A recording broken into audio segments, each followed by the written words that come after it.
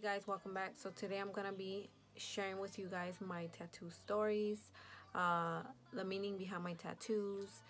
Before I get started on the video, I do want to put a disclaimer out there. If you're a person that does not believe in tattoos or body any kind of body modifications, then I suggest you guys do not watch this video because I don't want to get into like whole controversy, you know arguing with people back and forth in comments. I don't want to do that. So yeah, guys. So everybody's entitled to their own opinion. But if you if you don't like something, don't even look at something that has to do with with that that you don't like. So yeah, guys. So for those people that do not like tattoos or anything, this video is not for you.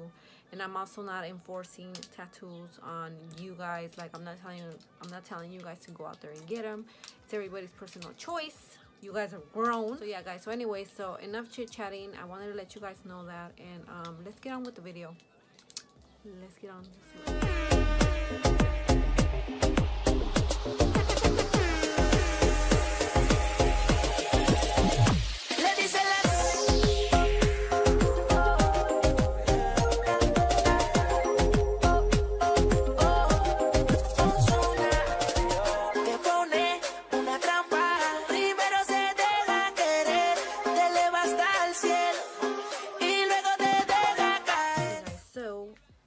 first time that I got my tattoo, I was 21 years old and I had barely had my son. Yes, at 21 years old, you know you're supposed to be out having fun, celebrating that you're 21. Well, I gave birth, I popped the baby out and um, um, I wanted to get something to symbolize him. So I decided on getting his feet done after you have a baby. Rosalind, give me this after you have a baby they give you like a little stamp with your kids um, footprints so I wanted to get that and I wanted to get that on my back here by my neck almost. So yeah guys. So the opportunity came up where one of my friends was having a tattoo party. And um, she invited over a, a, a tattoo artist. And you know people were getting tatted left and right. And I was like super excited. I'm like yes I'm finally gonna get a tattoo. So I really didn't give a damn how you know how everything was. At that time I was only 21 I was super excited so I didn't care. So I got it. Um, and I got his footprints and I only paid like $40 I think I think it was supposed to be 50 but then like you know my friend kind of you know like talked to him and I only paid $40 for it. And let me tell you guys after I got that tattoo um, it was messed up. It was super messed up because um, some of his feet you know my son's you know like where the little toes are you could see like the streaks of the tattoo gun. So it was bad. It was just bad guys. It looked super super faded. It looked like i had it for a long time. So yeah that was the first tattoo ever. After that happened um i you know certain situations came up. I got a divorce. I went independent you know. I started working. I, I started making my own money. And i wanted to kind of go bigger. Bigger go bigger, go home. So i wanted to get a bigger piece in my back. I wanted to add my son's name his birthday you know and I did. Um, I actually went to a shop now. I went to a professional shop this time guys. Um, that was only like up the street from my house. I went up there and I talked to the guy and I told him you know what? Like I want to get this and this done you know? Um, and yeah so he kind of took my idea and he just drew it. Like he just like free-handed did and that is the bigger piece that you guys are going to be seeing here. And he actually fixed the you know my son's feet he actually fixed them because they were super faded they were bad.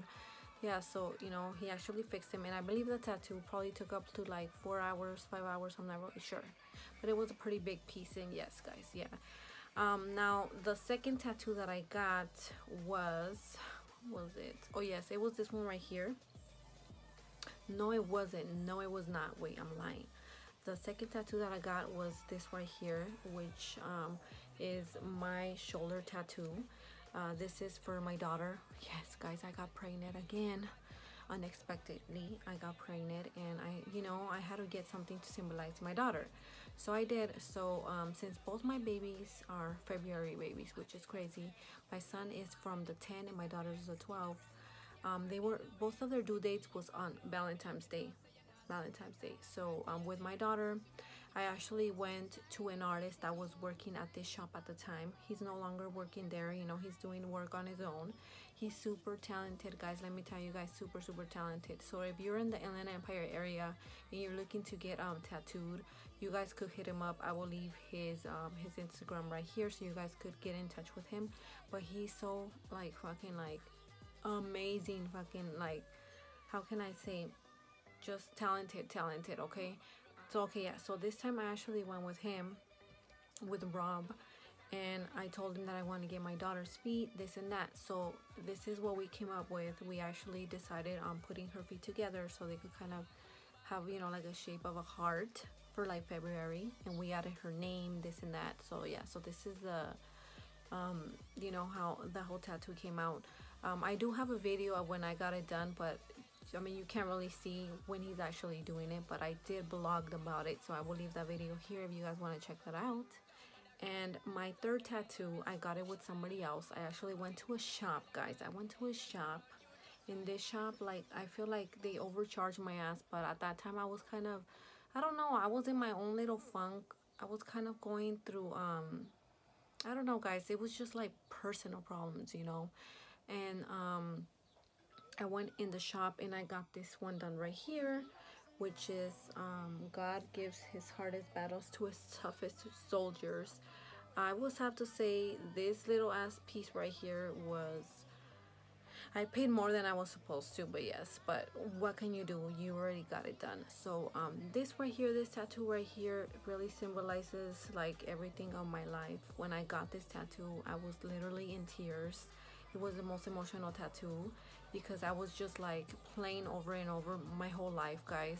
And I know there's people out there that you know that have gone through really really hard like you know really hard situations really hard um times in in their life but I wanted something to symbolize that to symbolize that when I have been at my lowest I have been able to get up you know because you know God tests your strength guys.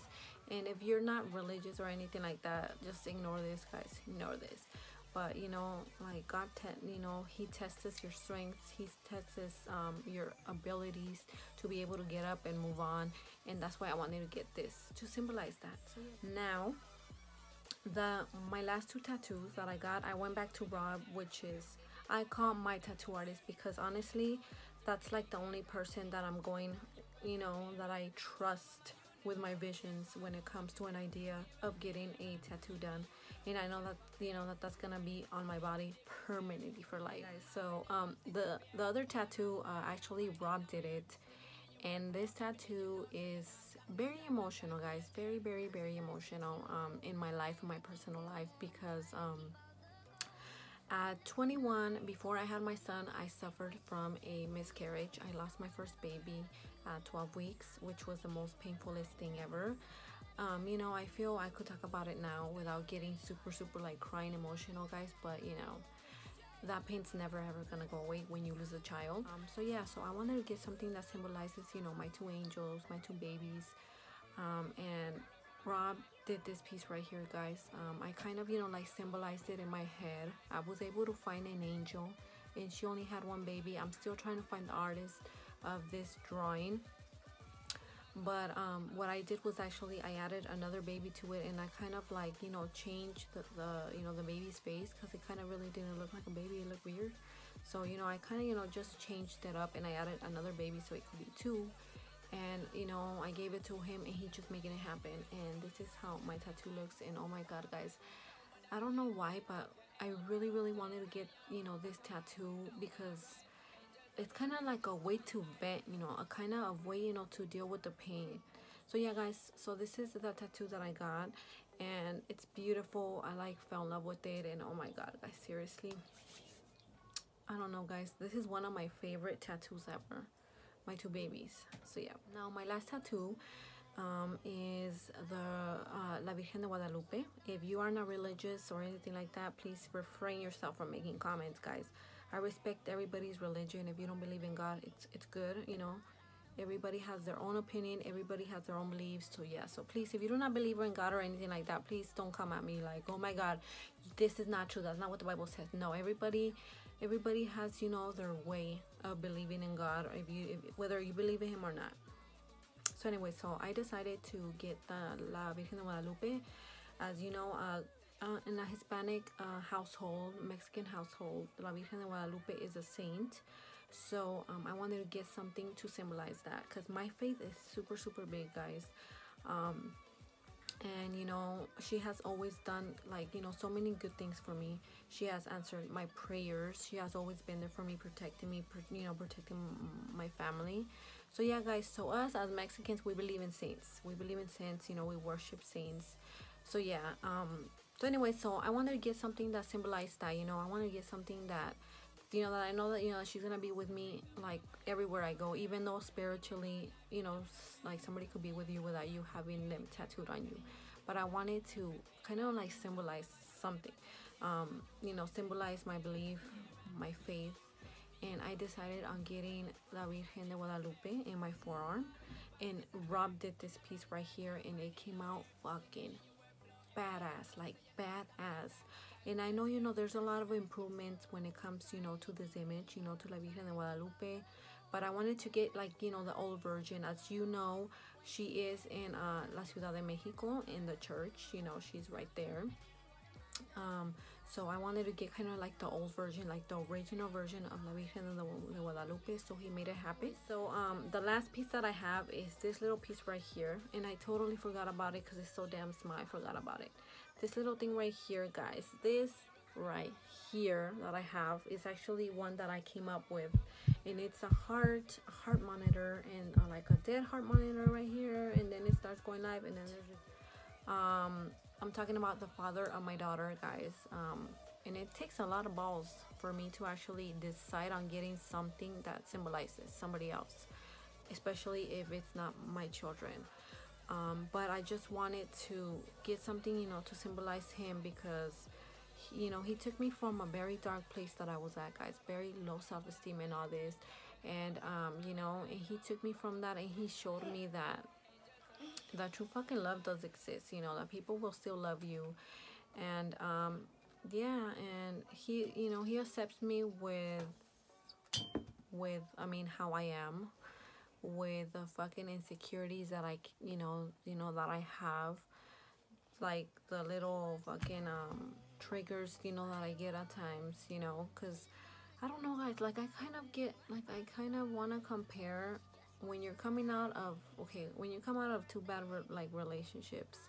You are like, especially if you've been used, abused, you know what I mean? Like, you're left with that trauma. You're left with that fear that it's gonna happen again and you're always with your guard up and that's how i am guys um you know and, I, and i'm not afraid to say it. i'm not like scared or embarrassed to be like yeah you know like i do have like trust issues you know where i don't know guys it's just it's just crazy. And in this person you know he's learned to accept me even though sometimes i do drive him nuts. But you know he showed me like a completely different side of of love. You know what i mean? As as corny as it sounds he did he did you know? He's like the only one that's ever done something super special for me. He's the only one you know that has truly truly showed me respect like love and respect like, he showed me like the other side. The other side of what true love is supposed to be. The other side of how a man's supposed to treat you. Because i've never ever felt that. Like i've never ever had that never had that. So i wanted to get something to symbolize that. So anyways guys so i hope you guys enjoyed this video. I hope i answered some of you guys questions. So anyways guys so um what i do want to tell you guys is if you guys are planning on getting work done just kind of um take your notes do your research you know find yourself a good artist. But if you're on the Inland Empire and you're trying to get work done you guys could hit up mm, you know my tattoo artist. I'll leave his information. But again if you're trying to get work done remember that you're the one paying for it nobody else is so other people's opinion shouldn't matter to you. It's your body.